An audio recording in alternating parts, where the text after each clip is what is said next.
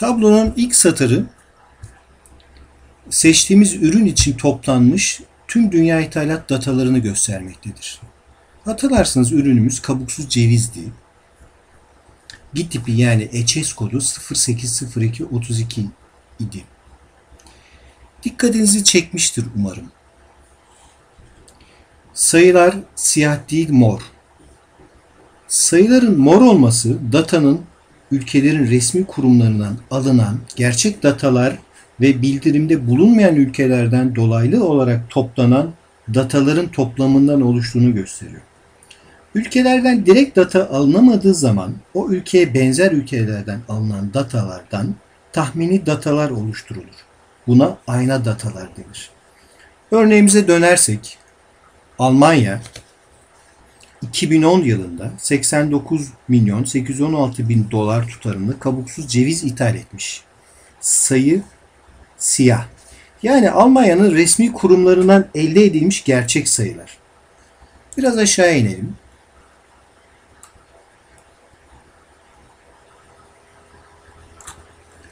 On üçüncü sırada ki Irak ise 24 milyon 448 bin dolar tutarında ceviz ithal etmiş. Ama sayı, sayı sarı renkte. Yani bu sayı direkt olarak Irak resmi makamlarından alınmamış. Irak'a benzer başka bir ülkenin datalarından tahmini olarak oluşturulmuş. Sayılar gerçek değil, sadece tahmini. Dolayısıyla bazı ülkelerden direkt datalar toplanırken bazılarından ayna datalar toplanmış. Bu yüzden dünya datalarının rengi mor olmuş. Toplanmış data hem direkt data hem ayna data karışımı olmuş. Her renkle ilgili ayrıntılı açıklama threat map tablolarının en altında mevcut.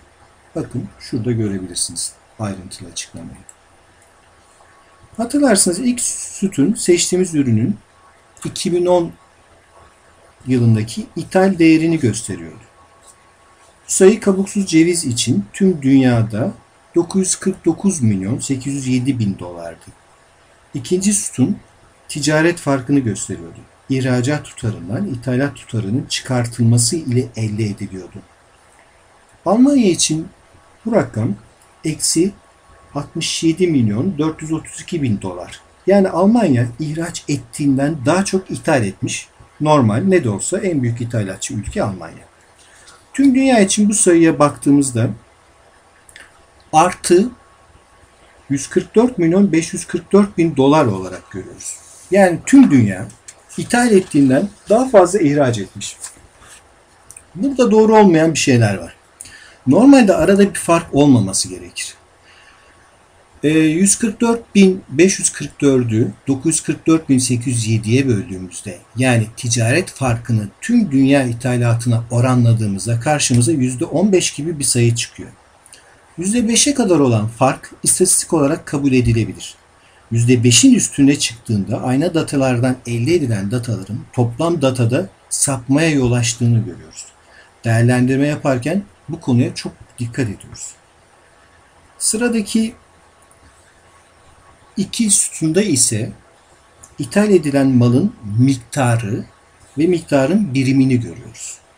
Örneğimize ithal edilen kabuksuz cevizin miktarı 159.946 miktar biriminde ton olduğunu görüyoruz. Yani 2010 yılında tüm dünyada 159.946 ton kabuksuz ceviz ithal edilmiş. Bir sonraki sütunda ortalama birim değerini görüyoruz. Dünya ortalaması ile ülkeleri kıyaslayarak ülkelerin pahalı ürüne mi, ucuz ürüne mi yöneldiği hakkında kaba bir fikir edinebiliriz. Dikkat etmek gerekir. Ülkeler arasındaki birim değerlerin farklı olması birçok sebepten kaynaklanabilir. Paketleme farkları olabilir, kalite farkı olabilir, aynı ürün içinde cins farkları olabilir veya başka farklar olabilir.